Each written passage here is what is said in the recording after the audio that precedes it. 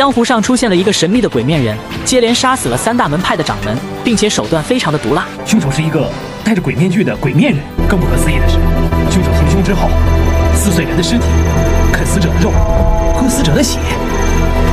无情在保护华山派掌门时，亲眼见到了鬼面人。鬼面人的轻功登峰造极，在无情的印象之中，就只有诸葛神侯和追命才能与其相比。大师兄，我十分佩服你的想象力，你怎么能把追命师傅和鬼面人联系在一起？我不是这个意思，只是江山代有人才出。诸葛神侯认为武林中卧虎藏龙，有这样的高手不足为奇。如今的当务之急是保护好剩下的五大派掌门，防止鬼面人进一步行凶。在诸葛神侯的命令下，无情和铁手来到了峨眉派。可惜两人等了整整两天，也没能等到鬼面人出手。就在铁手耐心耗尽之际，一个峨眉弟子闯了进来，说出后院突然燃起熊熊烈火。无情和铁手对视一眼，连忙前去后院查看，见到了大量峨眉弟子的尸体。么放火烧水月庵？错了。中计了！吴情意识到中了调虎离山之计，又和铁手折返了回去。铁手推开房门的一瞬间，一道白影冲天而起，消失不见。峨眉掌门躺在床上，嘴角流血，已经遭到鬼面人的毒手，经脉尽断，命丧黄泉。两个时辰后，诸葛青青见到一个白色身影进入了诸葛神侯的房间。义父明明早就睡了，是谁又进了义父的房间？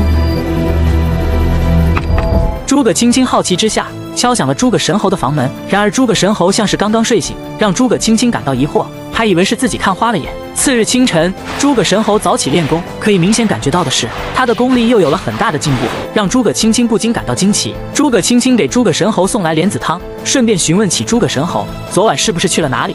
昨天晚上，我没去哪，我就在房里睡觉。你看到什么了？我看到一条人影一闪，就进了你的房间。那 那肯定是看错了。诸葛神侯认为诸葛青青看错了，以他诸葛神侯的武功，谁能进入他的房间，又能不被他察觉？诸葛青青见诸葛神侯否认，只好悄悄找到了无情，将昨晚的所见所闻说了出来。有没有看清楚是谁？当时太暗，我看不清楚是谁。不过为了义父的安全，我去敲门，可义父说他睡了，没开门。那你会不会弄错了？也许吧。今天早上我问过义父了，他也这么说。诸葛青青的话提醒了无情，无情表示会多多留意。话分两头。兔大师找到了林洛石，禀报江湖上出现了一个鬼面人，先后杀死了四大门派的掌门，武功之高恐怕不弱于诸葛神侯。兔大师担心这个鬼面人会影响到林洛石统一武林，询问是否要设计将其除掉。我跟你说实情吧，你以为鬼面人是什么来历？他只不过是我手下的一颗兴风作浪的棋子儿罢了。与我为敌，你想的太多了。得知鬼面人竟是林落石的手下。兔大师顿时放下心来，同时出言连连称赞：这样的顶尖高手也能为林落石所用，看来称霸天下指日可待。夜晚降临，诸葛神侯悄悄离开了房间。无情白天听到诸葛青青的话，守在门外，恰好见到了这一幕。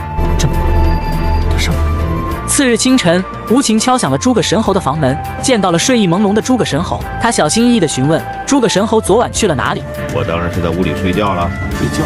啊，是这样。昨天我睡觉之前，看见有个黑影。从院子里飞了出去，觉得不太平静，就追了上去，结果在耳边爽了。